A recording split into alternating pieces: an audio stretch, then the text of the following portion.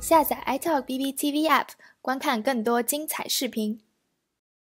近两日，在各留学群里疯转一张照片，大概讲的就是一位即将去美国常青藤名校哥伦比亚大学读研究生的新生，因为一句不当言论，本来预计2022年秋季入学的资格当场被取消了。这到底是咋回事？是飞来横祸，还是罪有应得呢？咱们赶快来看一看。根据这张图片的内容来看，做出撤销录取资格决定的是哥伦比亚大学工程与应用科学学院。后据知情人士说，这名同学拿到了哥大的 offer，很高兴，掩饰不住内心的狂喜，但又不想按常理出牌，发条正经的朋友圈来凡尔赛一把。于是乎，他就想到了一条不正经的推文。他说：“终于可以去美国买把枪轰死美国人了。”没成想，说者无心，听者有意。在新生群里发表了社恐言论后，正巧被学校的人看到。各大校方得知此事后大吃一惊，背脊发凉，觉得这个即将迈入校门的中国学生简直太恐怖了，转头就将该生打入黑名单，直接寄给了他一封取消录取通知的信。这下可好，还没开启的美国梦直接碎了一地。校方在信中说，撤销这名学生2022年秋季被化工系录取为研究生的通知书。因为这名学生承认了他在微信上针对最近纽约市发生的不幸，多次发出暴力威胁的言论，不符合哥大的政策及该校对学生的期望，不能被容忍。我们非常重视这些问题，所以我们别无选择，只能撤销你的录取通知书。图片显示，该决定书是2022年4月14号由哥大工程学院研究生招生执行主任 Gabriel Gannon 签署。与此同时，该生已经缴纳的四千美元预交学费一并退回。目前，这封被退学信在社交媒体上转发量相当高。有网友评论说，这个学生很可能是一时口快，想玩个梗，朋友圈炫一下自己的哥大 offer 而已，没想到引火烧身。也有比较严肃的网友说，美国大使馆应该记住这个人，永久禁止其获得美国签证。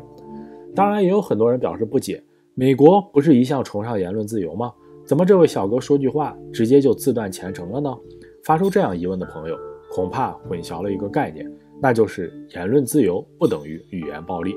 所谓言论自由，是指按照自己的意愿表达意见和想法的政治权利，有时也被称为意涵更广泛的表达自由。但这个自由并不是无限制的自由，其中的部分限制就是基于其传播影响力而言的，而另一部分限制则是卡得死死的。那就是诸如煽动、对事实的虚假陈述、污秽、儿童色情、恐吓、他人言论等，都不受第一修正案的保护。其实上面这个小伙伴并不是第一个因为不当言论丧失学籍的人，之前就有美国爱荷华大学的留学生，因在社交媒体上发布持枪照片，并高调宣称这学期很认真，如果学校还让我挂科，就让教授们体会一下子弹的滋味。结果，这名学生隔天就被学校开除，并遣返回国。既然这么多人已经吃了大嘴巴的亏，那工作、生活或者留学在美国的我们，到底哪些禁忌话题和错误做法要谨记在心，永不触犯呢？首先，最大的禁忌就是不要乱开种族言论的玩笑，比如无缘无故的指责少数族裔，称呼少数族裔不要过分强调民族性，不要使用与种族或肤色有关的古语等等。其次就是不要说任何恐吓言论，不管是开玩笑还是真发泄。比如在美国，很多国际机场安检入口处就挂有“请勿开玩笑”的牌示。第三就是不要在社交网上发布泄愤言论，尤其是现在社交媒体四通八达，无孔不入地融入到了大家的生活中。第四就是不要有国籍歧视、年龄歧视、性别歧视以及健康歧视。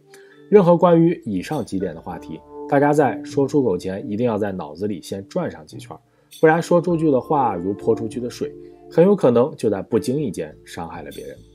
大家都知道，现在入境美国的时候，海关和移民局的官员可以要求检查你的手机等电子设备，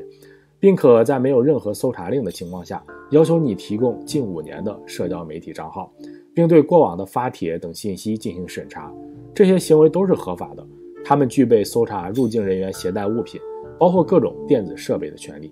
大家不要抱有海关人员听不懂或看不懂中文，觉得自己就安全了的幻想。为了进行全方位的检查，海关警察会派通晓中文的华裔工作人员来检查你。因此，对于经常往返中美的旅客，尤其是留学生来说，更要注意自己的日常言论，否则某次入关不幸被查，那可就要面临被遣返、没学上的严重后果了。